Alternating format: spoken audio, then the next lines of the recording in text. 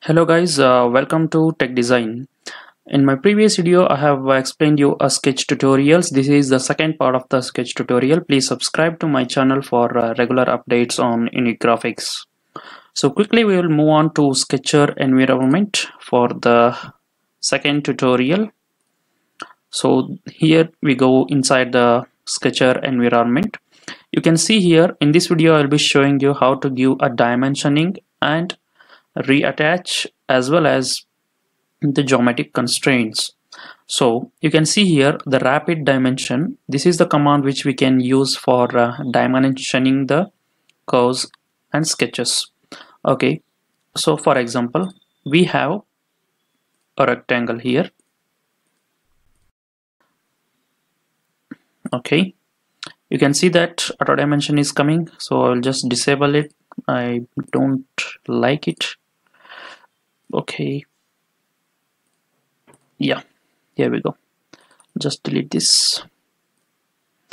Sketch. Okay.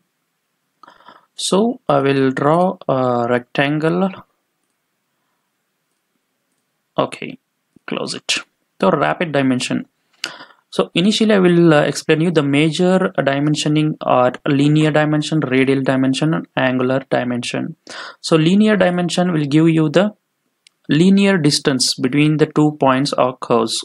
You can see that two points you can able to select and you drag it and paste it. You can see that 74 mm is the linear distance either or else you can select entire entity that is a line to give a dimension. This is about a linear dimension and a radial dimension. I will just uh, make one arc here. Okay, this is an arc. So here for the arc you can able to give the linear dimension. If you want to change, just edit it to 25, 35. So this is all about the radial dimension and the angular dimension. As the name suggests it gives the angular dimension between the two lines. So you can go to angular dimension select the first line and the second line. It will give the dimension the angular dimension. If you want you can change it to 45 so this will give the angular dimension. Dimensioning in NX is very simple as simple as that. So on all these three rapid dimension. So this will quickly select the required default option. For example I will show you. I'll just delete these two. I'll select the rapid dimension. So when the rapid dimension is selected either you can give a radius or else you can give a angular or else you can now able to give a linear dimension as well. You can see that once I select the entity it will give the linear dimension. If I select two lines it will give the angular dimension. Similarly for radial dimension. So this is all about the dimensioning. Uh, now we will move on to geometric constraints. You can see here the geometric constraint. For rapid dimension D is the shortcut whereas for geometric constraint C is the shortcut so I will press C. Okay. Okay. Yeah. So when I press C the geometric constraint command will open. Make sure that automatic selection progression is selected. Why this should be I will just explain you. Suppose for example you want to constrain okay press C. You want to constrain this point on this line. So you'll select a point on a curve. If this is off you need to select the point and you need to select this the next option. Then you have to select the line.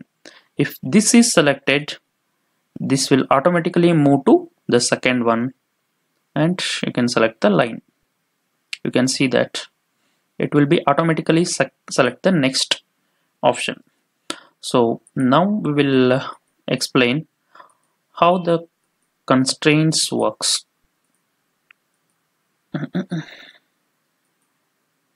Okay here we go. C is a geometric constraint. So you can see that coincident. So this two two points to be coincide. So you can select this. Make sure that automatic selection progression is on. Select this point and this point. You can see that they are coincide each other. So if you select this point and this point you can see that it is coincided. So the next is the point on curve.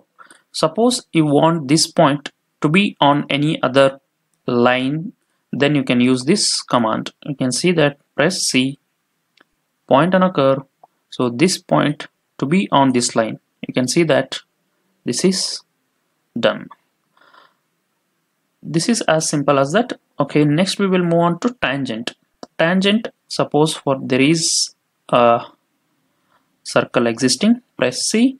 Select the tangent. If you want to make this circle and a line to be tangent select these two. It will become you can see that this symbol a line gives you a tangent constraint. You can always delete that to disable it. Next is parallel. As the name suggests it will give you the parallel lines. So this line you want to make it parallel to this line you can do that. This is perpendicular this line you want to make perpendicular to this line you can see that perpendicular symbol comes here. This is a constraint perpendicular constraint. So the next is this is horizontal and this is vertical. Suppose for example you have a line here and a line here. So you want to make this line perpendicular. So select a sorry horizontal. Need to select a horizontal constraint press this it will be horizontal. If you want to make a vertical you can make it. This a horizontal a short line at the middle of the line gives you a horizontal constraint. This is a vertical constraint. If you want to move it it will not rotate because it is horizontally constrained. Once you delete it then only you can able to change the orientation okay the next uh, next is this is a midpoint. So whenever you have a line you can give a midpoint of that. You can see that it will be connected to a midpoint. This gives you a quick selection purpose. The next is collinear. Collinear is nothing but suppose you have two lines you want to make them so you can select this these two. You can see that these two comes in single direction vector. So the next is concentric. Suppose two circles are there. You want to make them concentric. You can select this and this. These two becomes a concentric. The next is equal length. Suppose two lines are existing then you can able to make them equal length. Suppose this is a little one and this is a bigger one. You can make it equal length by selecting these two. The length becomes equal. Similarly for equal radius this will become equal radius. For example if you want to make this radius and this radius equal go here and select these two. The radius for which you selected the first one will become major diameter.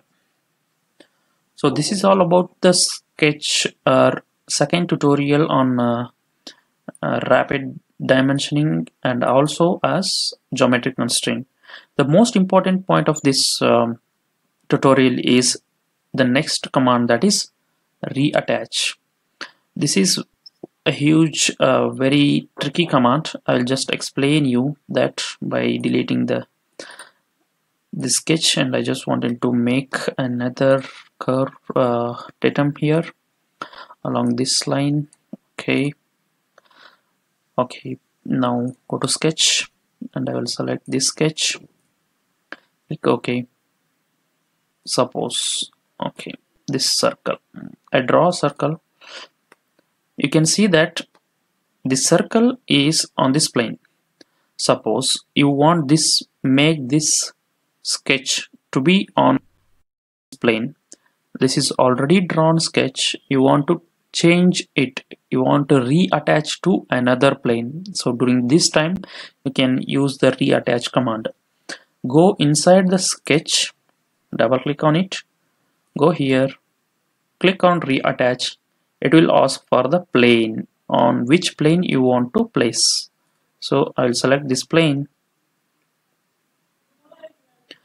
You can see that the horizontal reference direction is normal to the sketch plane. So you can change the horizontal direction along like this. Now it will be reattached. This is how you can reattach the sketch this is all about the tutorial guys. Please subscribe to my channel for regular updates. Thank you